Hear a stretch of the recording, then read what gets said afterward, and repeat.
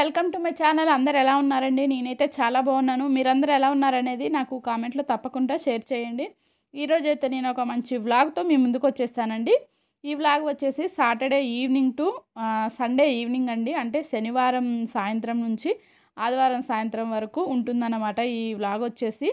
ఈ వీడియోని అయితే ఎక్కడ స్కిప్ చేయకుండా చూడండి. చాలా బాగుంటుంది. ఎమ్మి ఎమ్మి రెసిపీస్ కూడా ఉంటాయన్నమాట. ఇక్కడ వచ్చేసి ఏంటి కూరగాయలు చూపిస్తుంది అనుకుంటున్నారా? అవునండి. దీనికైతే ఒక రీజన్ ఉందన్నమాట. ఈ కూరగాయలు ఎందుకు చూపిస్తున్నాను ఏంటి అనేసి. మాకు సాటర్డే సాటర్డే అయితే సంత ఉంటుందండి మా ఊర్లో.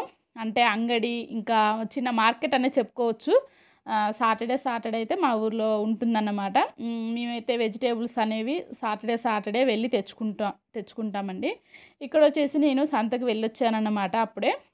వెళ్ళొచ్చేసి ఇవన్నీ ఒక టబ్లో టబ్ నిండుగా వాటర్ పట్టేసి అందులో ఉప్పు కొద్దిగా పసుపు వేసి వీటన్నిటిని శుభ్రంగా కడిగేసి ఈ విధంగా ఒక వెలుపాటి బోర్స్లో అయితే ఉంచానండి.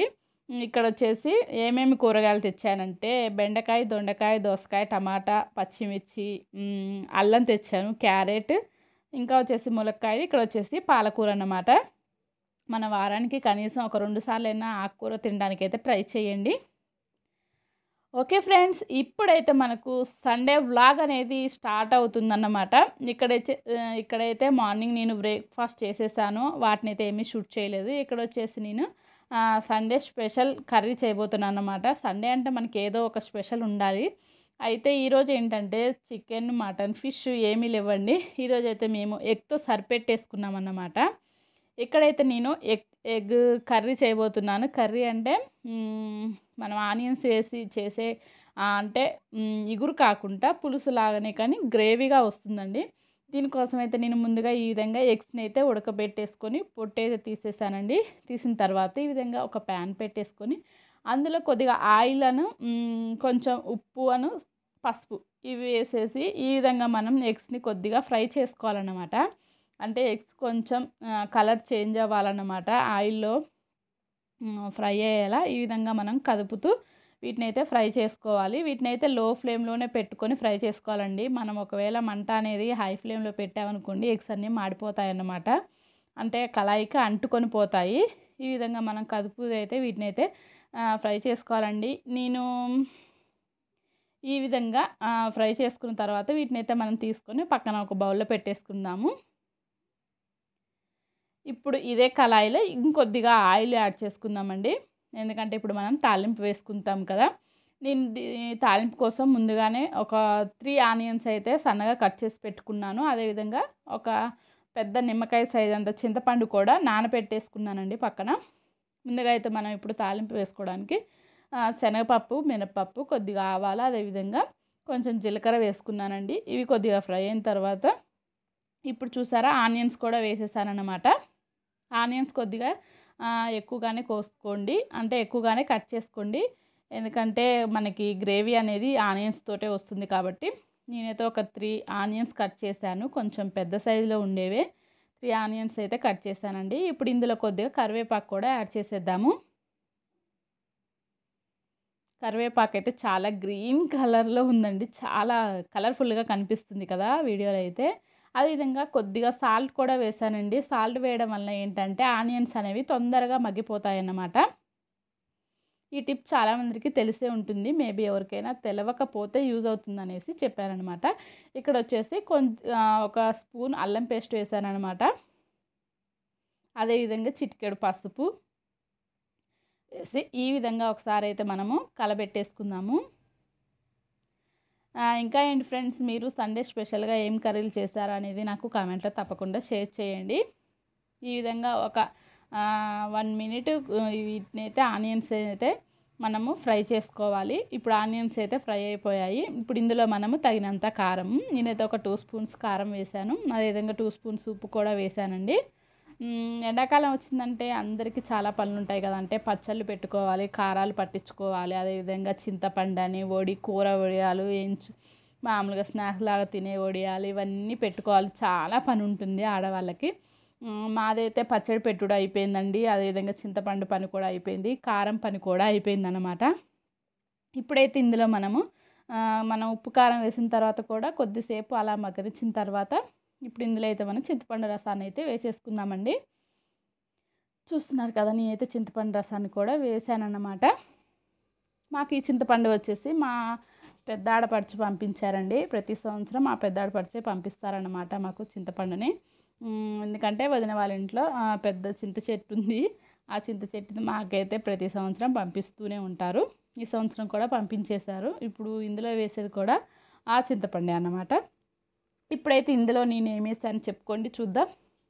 ఏమేసానంటే ఏం వేసానంటే ఒక స్పూన్ మెంతిపిండి అదేవిధంగా కొద్దిగా ధనియాల పొడి అదేవిధంగా రుచికి సరిపడా సాల్ట్ కూడా యాడ్ చేసేసాను.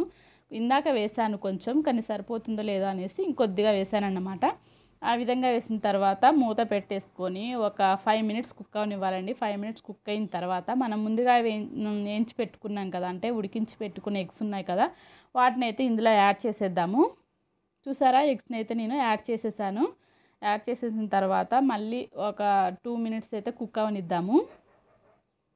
మూత పెట్టేసుకొని ఒక టూ మినిట్స్ కుక్ అవనిద్దామండి. చూసారా? టూ మినిట్స్ కుక్ అయిన తర్వాత ఈ విధంగా ఉంది. అంటే మనకి ఆ ఉప్పు కారం అంత అంత పులుసులో అయితే ఎగ్స్ అనేవి బాగా బాయిల్ అవుతాయి అన్నమాట ఇంకా. పులుసు కూడా మనకి దగ్గరగా అయిపోయింది కదా. ఇప్పుడు ఫైనల్గా అయితే మనం ఇందులో కొత్తిమీర వేసేద్దాము. చాలా కలర్ఫుల్గా ఉంది. టేస్ట్ కూడా చాలా బాగుందండి అసలు.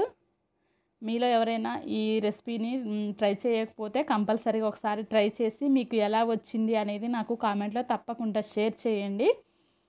ఫైనల్గా అయితే నేను కొద్దిగా గరం మసాలా కూడా యాడ్ చేసేసాను. మనకైతే ఎమ్మి ఎమ్మి ఎగ్ కర్రీ అయితే రెడీ అయిపోయిందండి. చూస్తుంటేనే నోరు ఊరిపోతుంది. ఓకే ఇప్పుడైతే కర్రీ అయితే అయిపోయింది. కర్రీ అయిపోయిన తర్వాత అయితే నేను ఇల్లు తూడ్చేస్తున్నాను అన్నమాట ఏమో ఒక చిన్న క్లిప్ అయితే మీతో యాడ్ చేశానండి. ఎందుకో నాకు ఇది యాడ్ చేయాలి అనిపించింది అన్నమాట ఇక్కడ వచ్చేసి ఏంటంటే అంత ఫాస్ట్గా నేనేమి తుడవడం లేదు. ఫాస్ట్ మోడ్లో పెట్టానన్నమాట వీడియో క్లిప్ అనేది. ఎందుకంటే చాలామందికి ఏంది ఇల్లు తుడిచేది కూడా చూపించాలా అనిపిస్తుంది కదా.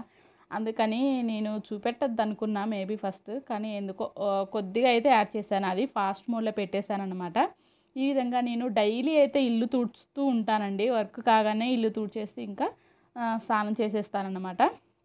ఇక్కడ వచ్చేసి లంచ్ టైం అన్నమాట. ఇల్లు తుడిచేసిన తర్వాత స్నానం పిల్లలు పిల్లలు స్నానం చేస్తారు నేను స్నానం చేసేస్తాను. ఇంకా వన్ అలా అవుతుంది అన్నమాట టైము. ఇక్కడ వచ్చేసి మేము అందరం లంచ్ చేస్తున్నాము. నేను అందరినీ చూపిస్తానంటే వద్దు వద్దు మమ్మీ మేమైతే కనిపించము. కావాల్సి వస్తే నువ్వు ఒక్కదాన్ని తీసుకో అంటే నేను ఒక్కదాన్ని ఎలా తీసుకోను అనేసి నేను ఇంకా నన్ను కూడా చూపించుకోకుండా ఓన్లీ ప్లేట్ ఒకటే చూపిస్తున్నాను. చూసేయండి ఇక్కడైతే ఎక్కర్ చేసుకొని వేసుకొని తింటున్నాను. బట్ టేస్ట్ అయితే సూపర్గా ఉందండి. చాలా బాగుంది. మీరు ఒకసారి కంపల్సరీగా ట్రై చేయండి. చాలా అంటే చాలా బాగుంటుంది. మనం అంటే డైలీ చేసుకునే ఎగ్ కర్రీ కన్నా ఇలా ఒకసారి ట్రై చేయండి. చాలా బాగుంటుంది. ఇప్పుడైతే మీకు ముద్ద చూపించి నేనైతే తినేసానన్నమాట ఓకే లంచ్ టైం కూడా కంప్లీట్ అయిపోయింది. కొద్దిసేపు అలా నిద్ర సేవించి లేచామన్నమాట. లేచి ఈ ఈ వీడియో వచ్చేసి ఈవినింగ్ అండి. ఈవినింగ్ ఫోర్ థర్టీకి ఫైవ్కి అలా షూట్ చేశానన్నమాట ఈవినింగ్ వచ్చేసి ఇక్కడ గన్సగడ్డలు మేము సంతలో నిన్న ఇందాక కూరగాయలు చూపించాను కదా అందులో ఉన్నాయన్నమాట ఇవి కూడా. గన్సగడ్డలు తెచ్చానన్నమాట. గన్సగడ్డలు ఏంటంటే ఇవి కొంచెం నేను డిఫరెంట్గా చేస్తానన్నమాట ఆవిరితో ఉడకబెట్టేస్తాను. ఇక్కడ చూస్తున్నారా వీటిని అయితే శుభ్రంగా కట్ చేసుకొని కొసలు అయితే కట్ చేశానండి. కట్ చేసిన తర్వాత ఈ విధంగా ఒక ఒక డబ్బీ ఉంది కదా ఆ డబ్బీతోటి అయితే ఒక రెండు సార్లు షుగర్ వేసానండి షుగర్ వేసిన తర్వాత కొద్దిగా ఆయిల్ కూడా వేయండి. వేసిన తర్వాత కొద్దిగా వాటర్ కూడా యాడ్ చేసుకొని యాడ్ చేయండి.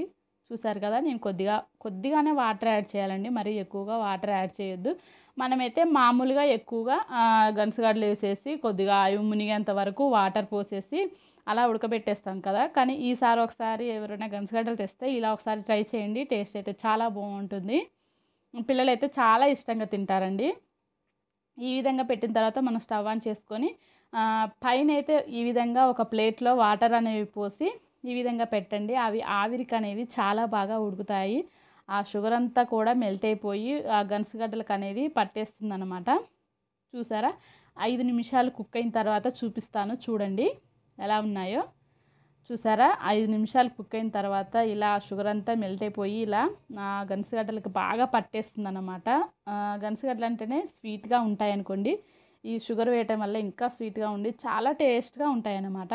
ఇలా అయితే ఒకసారి కంపల్సరీగా ట్రై చేయండి. ఎలా వచ్చింది అనేది నాకు కామెంట్లో తప్పకుండా షేర్ చేసేయండి. మనకి ఏమైనా కొంచెం అంటే పైన కొద్దిగా పచ్చిగా అనిపిస్తే ఈ విధంగా తిప్పి వేసుకుంటే అన్నీ ఒకసారి సరిపోతుంది. తిప్పి వేసుకొని మళ్ళీ ఇంకొక టూ మినిట్స్ అలా కుక్ అవనిస్తే వీటిని ఏంటంటే మనం స్లో ఫ్లేమ్లోనే పెట్టుకొని కుక్ చేయాలండి. ఎందుకంటే మీడియం ఫ్లేమ్లో పెడితే మాడిపోతాయి అన్నమాట స్లో ఫ్లేమ్లో పెట్టుకొని ఇలా పైన ప్లేట్లో వాటర్ పోసేసి పెట్టాలన్నమాట. చూసారా? టూ మినిట్స్ తర్వాత అయితే రెడీ అయిపోయాయండి మనకి. కొద్దిగానే ఉన్నాయి కదా వాటర్. అలా ఉంచేసి మనం అయితే ఇక స్టవ్ అయితే ఆఫ్ చేసేసుకోవాలండి. స్టవ్ ఆఫ్ చేసుకొని ఒక వన్ మినిట్ పాటు చల్లారనిద్దాము. చూసారు కదా ఇవైతే బాగా ఉడికిపోయాయి అన్నమాట ఓకేనండి ఈ వ్లాగ్ అయితే ఇంతటితో ఏం చేసేస్తున్నా. నేను మళ్ళొక వీడియోతో మీ ముందుకు వచ్చేస్తానండి. ఈ వ్లాగ్ అనేది మీకు నచ్చితే తప్పకుండా కామెంట్ చేయండి నాకు. ఈ వ్లాగ్ నచ్చితే మాత్రం తప్పకుండా లైక్ చేయండి షేర్ చేయండి. అదేవిధంగా కామెంట్ చేయండి. కొత్తగా చూస్తున్న వాళ్ళైతే ప్లీజ్ సబ్స్క్రైబ్ చేసుకోండి. పక్కనే ఉన్న బెల్లైకాన్ని కూడా క్లిక్ చేసేయండి. బెల్లైకాన్ని క్లిక్ చేయడం వల్ల ఏంటంటే నేను ఏ వీడియో అప్లోడ్ చేసినా మీ వరకు నోటిఫికేషన్ వచ్చేస్తుందండి. నా వీడియోలన్నీ మీరు మిస్ కాకుండా చూడవచ్చు. Okay friends bye bye. Stay home stay safe. Bye bye. Take care.